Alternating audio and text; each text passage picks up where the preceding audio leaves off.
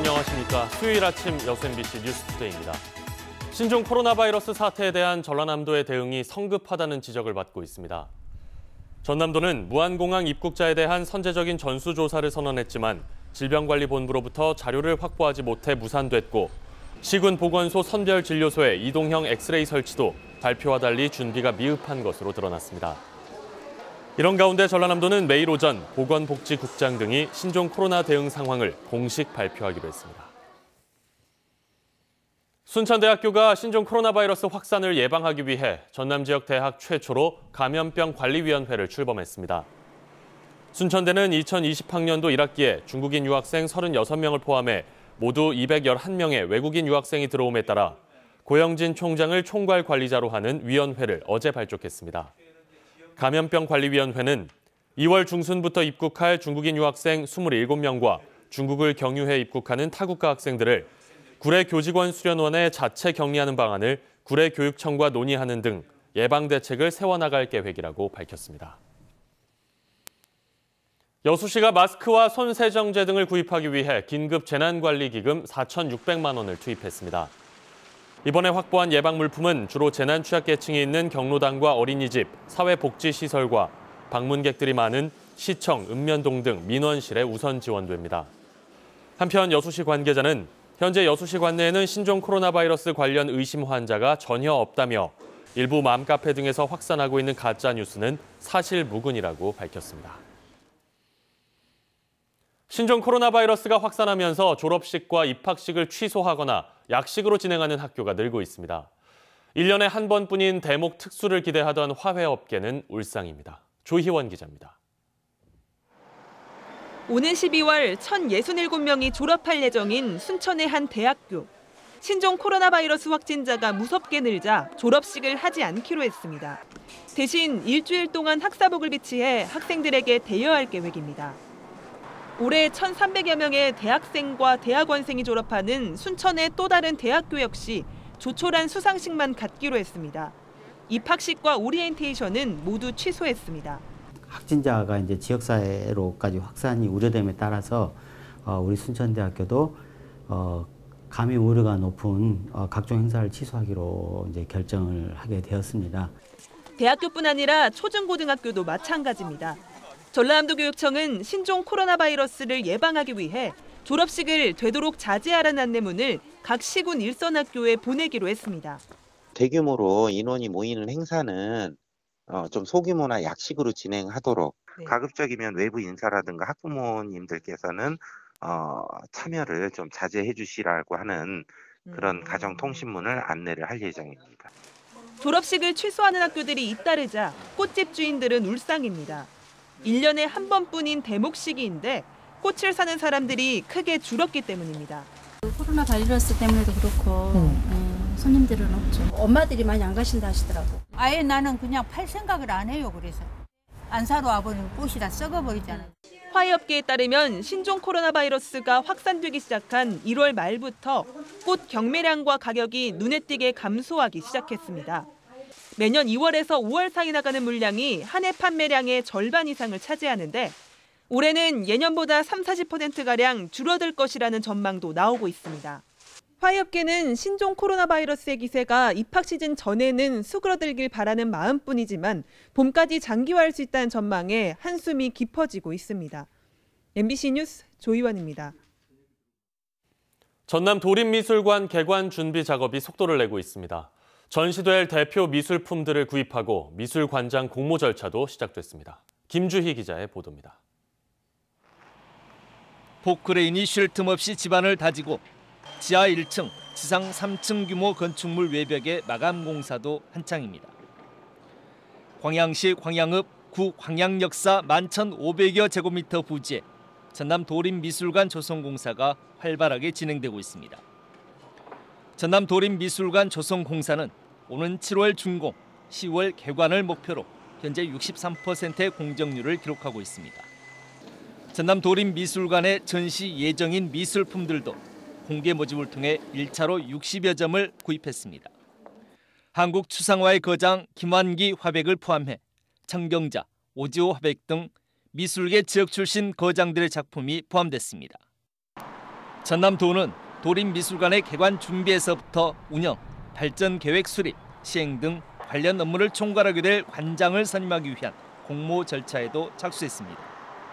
미술관 관장을 공개 모집 중인데 다음 주에 응시 접수할 예정이고 3월 말까지 선발 예정입니다.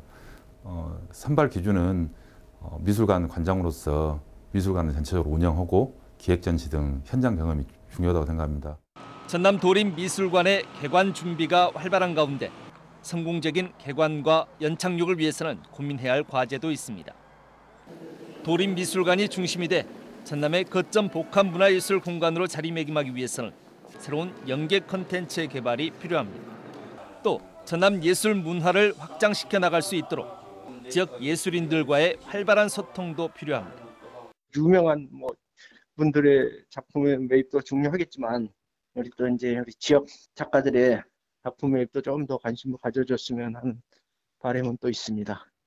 정상 개관을 9개월에 앞둔 전남 도림미술관. 지역사회의 목소리를 온전히 담아내 새로운 전남 동북권의 문화예술 거점 공간으로 자리 잡을 수 있을지 기대감이 커지고 있습니다. MBC 뉴스 김주입니다. 전남도가 어업인들의 부담 경감을 위해 어업재해 복구비를 현실화합니다. 전라남도는 고수온 태풍 등 어업재해에 따른 도내 어업인들의 부담을 덜어주기 위해 김채묘 시설 복구비를 신설해 지원하고 수산생물 8개 품종의 치어 입식비 등 12개 품종에 대한 어업재해 복구비도 최대 2배까지 상향했다고 밝혔습니다. 전남도는 앞으로 지원 단가가 반영되지 않은 품종 등에 대해서도 복구비가 지원될 수 있도록 정부에 지속적으로 건의할 예정입니다.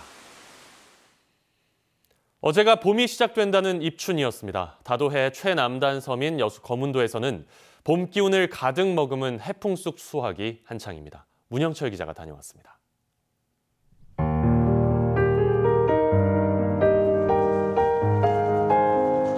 뱃길로 2시간여를 달려 도착한 다도해의 끝자락. 바다가 한눈에 들어오는 야산 곳곳에 푸른 쑥밭이 펼쳐집니다. 향긋한 쑥내음 속에서 주민들은 분주한 손놀림으로 이른 봄을 맞이합니다. 어, 쑥밭에 오면은 너무 한기가 좋아요. 쑥 한기가. 기분도 좋지만은 몸도 좋아져요. 일조량이 풍부하고 날씨가 따뜻해 전국에서 가장 먼저 쑥 채취가 시작되는 거문도. 섬 전체 800여 가구 가운데 130여 가구가 입춘을 전후해 본격적으로 쑥 채취에 나섭니다. 너무 커도 상품 안 되고요. 지금은 보는 대로 이 정도 딱 좋은 상품이에요. 해풍쑥으로 불리는 거문도 쑥은 소금기를 머금은 바닷바람을 맞고 자라 식감이 부드럽고 향이 진한 것이 특징입니다. 일반 쑥보다 두 배 이상 높은 가격에다 쑥을 이용한 가공식품도 인기를 얻으면서 한 해 50억 원의 소득을 올릴 수 있는 효자 상품으로 자리 잡았습니다. 쑥이 굉장히 건강하고 생명력도 강하고 또 이렇게 미, 미네랄 성분이 많다 보니까 소비자들께서 많이 찾으신 것 같습니다. 섬마을에 넘실거리는 쑥내음이 성큼 다가온 봄을 알리고 있습니다. MBC 뉴스 문형철입니다. 올해 1월이 기상관측 47년 만에 가장 따뜻했던 것으로 기록됐습니다. 광주지방기상청에 따르면 올 1월 광주 전남의 평균 기온은 평년보다 3도가량 높은 4.6도로 1973년 기상관측이 확대된 이래 가장 높았습니다. 기상청은 약한 시베리아 고기압과 잦은 남풍 기류로 인해 기온이 올라간 것으로 보인다며 그에 따라 광주 전남 12월 1월 적설량도 0을 기록했다고 밝혔습니다. 올겨울 따뜻한 날씨 탓에 해조류 양식이 타격을 입고 있습니다. 특히 고수온의 미역과 다시마 양식이 차질을 빚으면서 벌써부터 전복 먹이 대란이 우려되고 있습니다. 박영훈 기자가 현장 취재했습니다. 올해 6년째 전복 양식을 하는 섬마을 어민. 이른 아침 다른 지역 양식장을 찾았습니다. 전복 먹이인 미역이 자라지 않아 2시간 넘게 배를 몰아 먹잇감을 구하러 온 겁니다. 거의 없다고 봐야죠. 뭐 몇 가닥 붙어 있는 데가 대다수다 보니까 지난해보다 2도 이상 높은 수온의 영향으로 초기에 엽채가 탈락하거나 성장이 더딘 피해가 발생했습니다. 진도와 완도 등 전남 해역의 미역 피해는 줄잡아 20, 30% 수준. 가득 차 있어야 할 미역 줄기들이 보시는 것처럼 군데군데 텅 비어 있습니다. 미역에 이어 이달부터 양식을 시작하는 다시마도 양식용 포자 생산이 늦어져 가격이 지난해보다 두 배가량 뛰었습니다. 다시마도 지금 태가 안 일단 그러니까 시작부터가 안 좋아요. 그것도 지금 뭐 한 보름 전에 미리 받아놓고 지금 다 가입식을 해놨거든요. 미역에서 다시마로 전복 먹이가 교체되는 시기는 4월 중순. 먹이 대란이 계속될 경우 전국 90% 이상을 생산하는 전남의 전복 생산에 적자는 차질이 우려되고 있습니다. MBC 뉴스 박영훈입니다. 전남도 내 1억 원 이상 고소득 농업인이 해마다 꾸준한 증가세를 보이고 있습니다. 전라남도에 따르면 지난해 11월 도내 농가와 법인을 대상으로 실시한 소득 통계조사 결과 연소득 1억 원 이상인 농업인이 5,166농가로 전년 대비 2.8% 늘었습니다. 소득 규모별로는 1억 원 이상 2억 원 미만이 전체의 77%로 가장 많았고 2억 원 이상 5억 원 미만이 18%, 5억 원 이상이 3%를 차지했습니다. 품목별로는 축산이 38%로 지역별로는 고흥군이 566농가로 가장 많았습니다. 그제 여수 산단에서 발생한 40대 노동자의 사망 사고와 관련해 총선 후보들의 논평이 이어졌습니다. 정 후보는 어제 논평을 내고 더 이상 여수 산단의 공해와 안전사고로 인한 희생을 막기 위해 실질적인 대안이 필요하다며 주민 참여형 민간 환경안전 감시기구를 법제화해야 한다고 주장했습니다. 김유화 국회의원 예비 후보도 보도자료를 통해 여수 산단의 위험 공정 업무에 전문가의 감독을 의무화해야 한다고 지적하고 안전 매뉴얼 재점검과 현장 중심의 사고 예방 특별법 제정이 시급하다고 주장했습니다. 서가번 민주당 순천시 예비 후보가 지역 소상공인들과 간담회를 갖고 전통시장과 중소영세 자영업자의 위기가 경제 양극화를 심화시키는 원인이라며 재래시장과 골목상권 보호를 위한 법 개정에 노력하겠다고 밝혔습니다. 참석한 소상공인들은 골목 상권에서 또 하나의 공룡으로 자리 잡고 있는 농협 유통과 지역 경제가 상생할 수 있는 법 제도적 보완 조치가 필요하다고 지적했습니다. 전남 지역의 소비자 물가 지수가 지난 2018년 12월 이후 처음으로 1%대의 상승률을 기록했습니다. 호남지방통계청에 따르면 지난달 전남의 소비자 물가 지수는 지난해 같은 달에 비해 1.7% 오른 106.09로 집계됐습니다. 품목별로는 농수축산물이 3.9%, 공업제품이 2.5% 상승했고 공공서비스는 2.2% 하락했습니다. 민주당이 편가르기 논란을 일으키는 지방 의원들의 지지 선언을 당 차원에서 금지했습니다. 민주당 중앙당은 선출직 공직자가 당 분열을 조장하는 행위를 해서는 안 된다는 윤리규범 규정을 들어 특정 후보 공개 지지 등을 금지하며 경선 중립 의무를 준수하라고 지침을 내렸습니다. 까지 뚝 떨어졌고요. 그간 포근했던 터라 추위가 더 심하게만 느껴지는 것 같습니다. 현재 강원도 지방에는 한파 경보가, 서울을 비롯한 중부 지방엔 한파 주의보가 발령 중이고요.